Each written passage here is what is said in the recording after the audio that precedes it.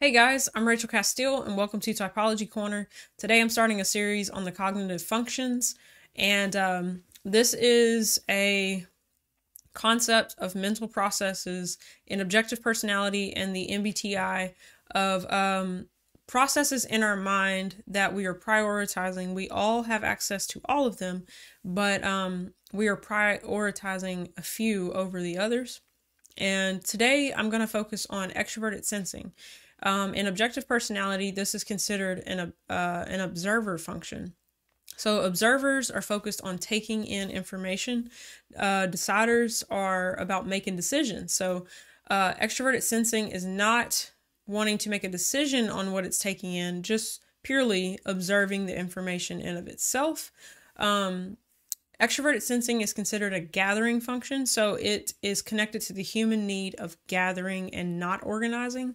It is extrovertedly focused on new things that it doesn't already have in its bag, and it is out looking for new things, new data. So, sensing is about just the data of something. It's not the pattern, it's not connecting it to something, it's just purely the five sense um, five senses um, being observed. So it's it could be listening to new music, uh, watching a new movie, um, reading a new book, reading an article about something that I don't already know. It's a brand new experience. It's going to a new city. It is it is engaging the five senses in a new way. Um, it has an inclination to take in something that it doesn't already have. Um, uh, this function being in a savior state in a person um, they are highly inclined towards the new. And um, another aspect of extroverted sensing is proving with facts. We are inclined, I say we, I'm an ESTP, so my dominant function is extroverted sensing. So um, I am very inclined to um, want to get more information before believing a concept, believing a theory, believing um, just about anything. Like, show me the details, show me the research. Where'd you get this from? Where'd you source this from? Okay, I can see now that I've got these 10 things that I can observe that are really like, you know, real in reality. I'm like, oh, that does point to that concept you just said, you know?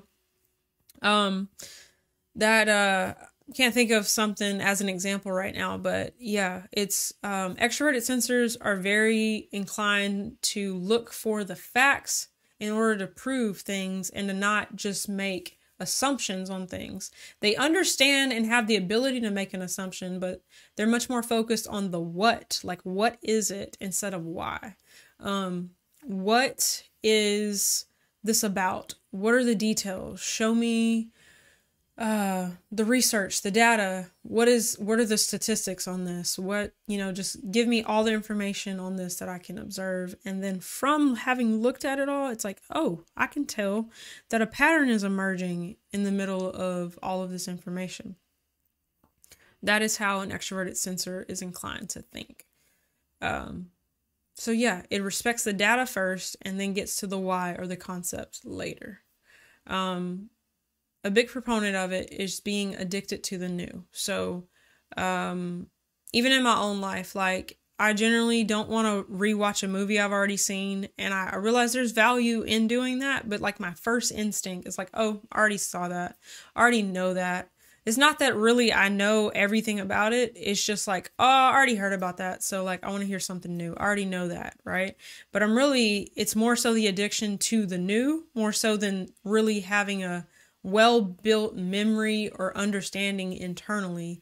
Extroverted sensing uh, in a dominant place is just wanting something it hasn't experienced. So it can be an addiction to the new experience, thinking that, you know, the answer to something is found in a new experience, which isn't always true, but this is the inclination of an extroverted sensor.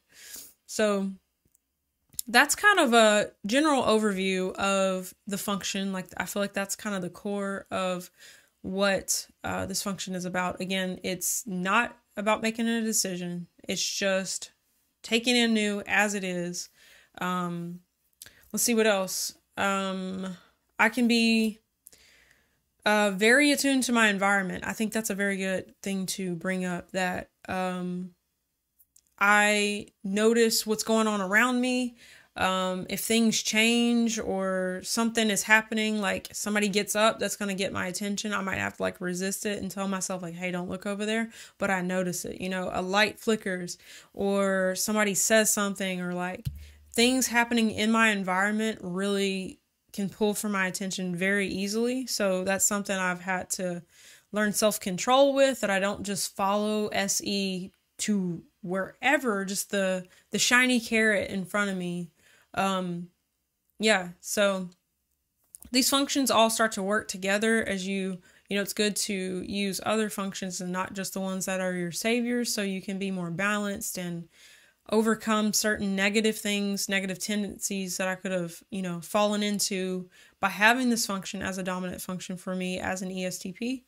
Um, but yeah, um, I would say I kind of have said this, but one of the biggest things uh, in recognizing somebody who has extroverted sensing is needing the facts, needing the details to believe, needing more details. No, explain yourself. That's not clear enough. That's not clear enough. I need it more clear.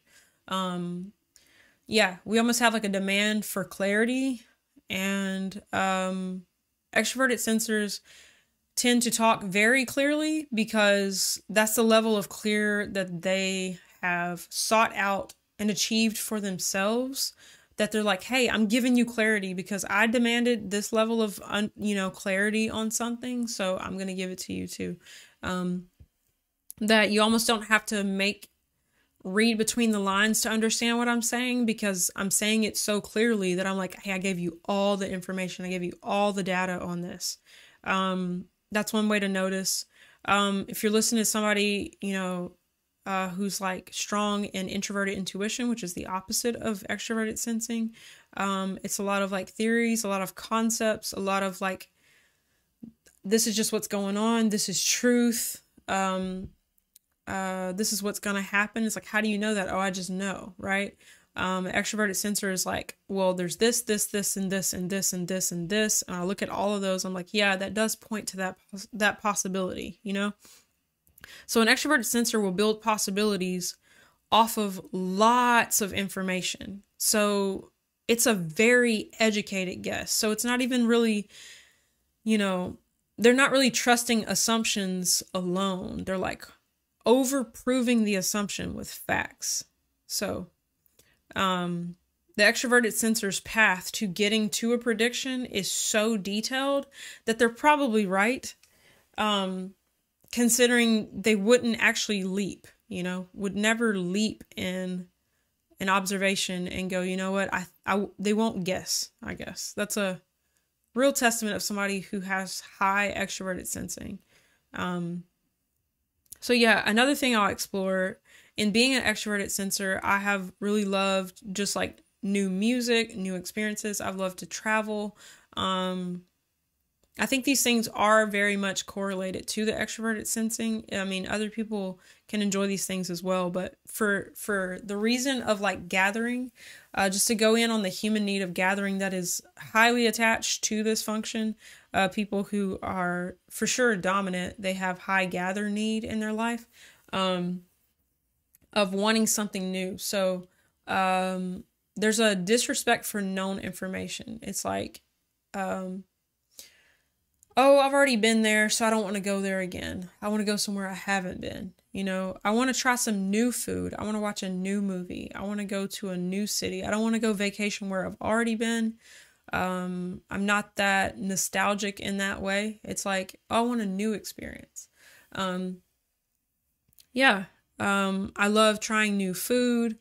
Um, just interesting conversations, like talking about something I haven't talked about before, or uh, new friends, new connections, just new experiences all over. Like something that is intriguing mentally that's new for me is uh, very interesting to me. Like just getting in a really good conversation about something that's making me think about new things is very intriguing to me because I um I love when somebody else is bringing creativity in my life because it's I just like dig holes into what they're talking about because I'm like, oh, give me all the facts about that. Give me all the facts.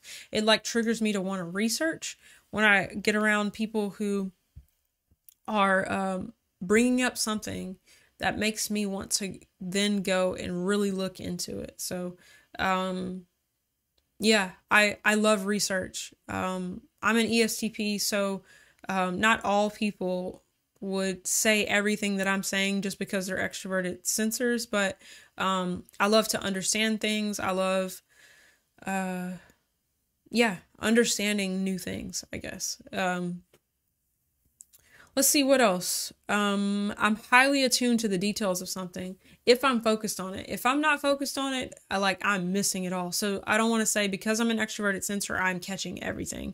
It's funny, my husband will be like, "You say you catch everything, but like you're totally missing all of this." I'm like, "Yeah, because I wasn't focused on it, but I'm catching everything about what I'm focused on, essentially." So yeah, that's a bit of a uh, I can be in the zone. Like, hey, this is what I'm fixated on. So it's think of it that way. It's like extroverted sensing is like whatever I put my eyes on, whatever I put my attention on, I'm catching every single detail about it.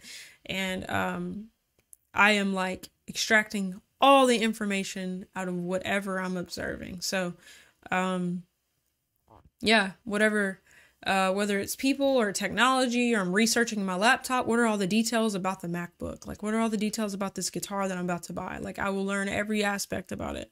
Um, that's my like doing the research, getting the data. So just think of extroverted sensing as getting all of the data on something. And um yeah, um I have a high inclination to like be like hyper focus, hyper focus, all or nothing, all or nothing. And it's like whatever I'm like zeroed in on, like that's where I'm at, you know. And um I do love having things that I love to you know like interest in things that's really um captured me enough to research and to really develop my understanding around things. Um but yeah not to elaborate too much i just wanted to make the point of um taking in the new taking in data. That's what extroverted sensing is all about. It's uh, highly inclined to disregard known go toward new and this can be applied to so many things. Think of all the things we could do uh, in our life. Um, we're all so diverse in how we would use this function based on our interests, desires, uh, function, order. Um, it all changes it a bit, but I think this is a good picture of what extroverted sensing is. So, yeah, that is it for this video. Um, again, I will continue with the series and uh, explain the other cognitive functions as well. And uh, yeah, so if you got any value out of this, give me a thumbs up. Uh, for future content, go in and subscribe below. And uh, yeah, again, thank you for watching. See you next time.